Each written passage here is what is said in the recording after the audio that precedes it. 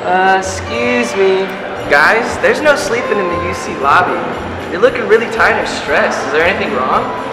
Oh, man, we just have a couple of midterms coming up, and me and Nico, like, we're trying to study right now. We just got tired. Finals week is coming up and I'm so stressed out. Dude, you guys gotta find something that'll de-stress you. You're looking sleepy and crazy. What is it gonna be?